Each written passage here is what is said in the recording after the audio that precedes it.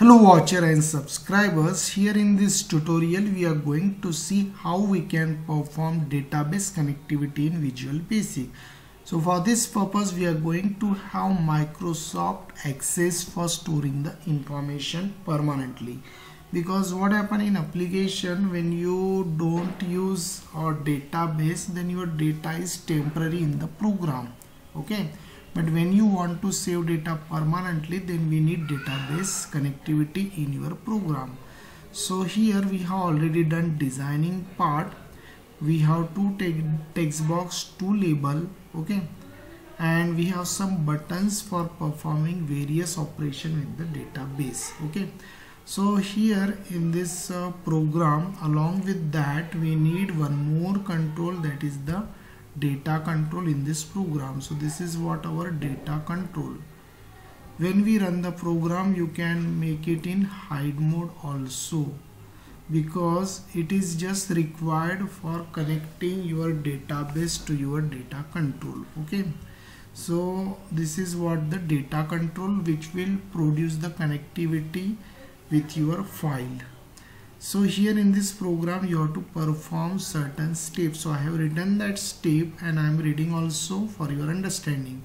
So here you have to use uh, add-ins option for adding Visual Data Manager. Then you select Microsoft version and you have to create the file in the third step and your file will be Microsoft Access. Okay so first we will perform that. So this is add-ins option Visual Data Manager then in file you select a new option. Then select Microsoft Access 7.0 so here I am giving a name VD3 name. Is my Microsoft Access file name. Then here I am clicking on save. After clicking that you have to create a table. Okay? So for that you right click on property select new table then you have to give table name add fields and close it. Add field means you have to create a columns okay? So here this is a property. Right click according to the instruction then click on the new table. And here you have to create a table. Our table name is school. And then you have to add column. For that you click on the add field option. And then our first field name will be name.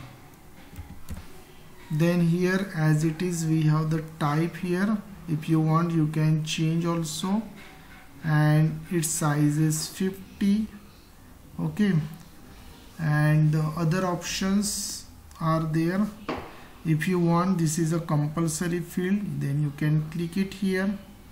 Okay. Then next one will be roll number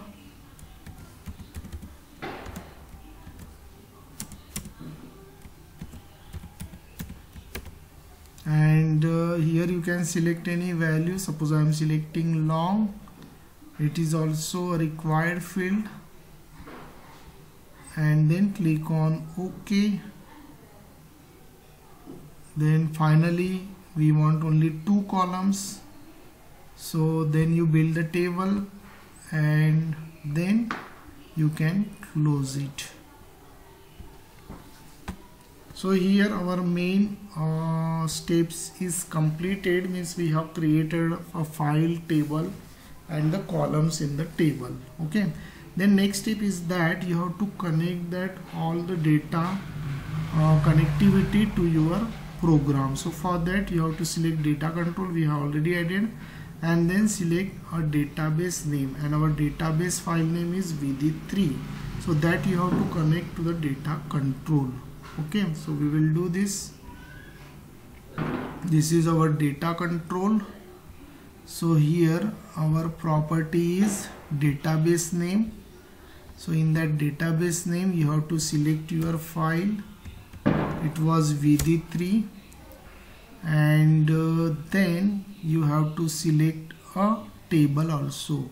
Then for selecting a table you required a record source property okay so here you have to check record source property and here your record source is school. Then once it is done then our next step will be this text box because that text box data will be stored in the file in MS Access file. So here these two text box as we are using for input it should be connected with the column name. So how it will be connected for that you have to use a property like data source and data field. So here I am selecting text box and then we have to go to the data source and data field property so our data source will be data 1 why we are using here data 1 because the data uh, 1 is connected with our file and table. Then our data field will be name then next one again you have to set a same property with the data source that will be data 1 and the data field will be the roll number. Okay so finally we have done it almost. Then this control I want to make it hide because I don't want to see when our application is running. So here visible property will be what? False. Okay so our code uh, means connectivity part is completed and in the next step we have to write a code.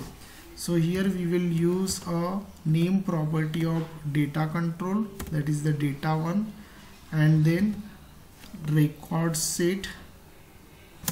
And then we have to write here add new okay?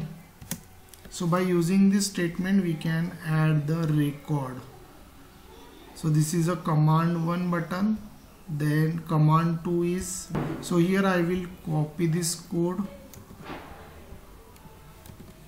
And here we will use move property that is a move next. Okay. I will just check our button is next so it is a move next. Next I will again copy this code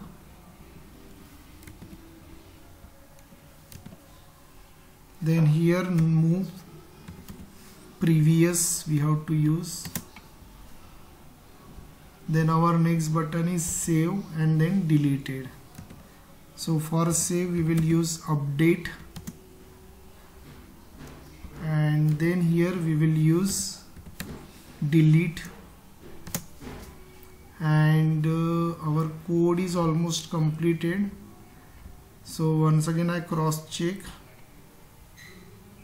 I, by mistake I have written here. Actually I don't need this event. So here I will write delete. And uh, then here it's end one. So we will write here end. It will close the application. And now here we will run the code. I will explain this code for you. By using this statement the record will be added and that record will be stored okay in data. And our data control is connected to our file so it is stored in the file. Then by using this statement we can go to the next next record we can go to previous record and here we can save the record because our command 4 is nothing but save button by using delete we can delete the record. Then last one we can close the application. So here we are running it. So here then by using again add button we can add we can add a next record. So here in this way you can add the records and by using this next button we can go to next record. By using previous we can go to previous. When you do any changes you can go for the save. If you want to delete you can delete the record. And then by using end button you can end the application. So in this way it will work out. And uh, this all data will be stored in the Microsoft Excel file. And that file is VD3 so I hope dear student you understood this uh, database connectivity program and you practice for your better understanding. So thanks for watching this tutorial. Thank you